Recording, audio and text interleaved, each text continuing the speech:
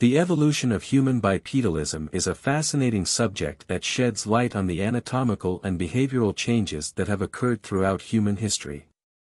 The first hominins to walk upright were likely species such as Australopithecus afarensis, which evolved bipedalism as a way to adapt to changing environments and exploit new food resources. Over time, the anatomy of early hominins evolved to better accommodate upright walking, leading to the emergence of the Homo genus and eventually modern humans. Today, human bipedalism remains a defining characteristic of our species and has played a key role in our success as a global species.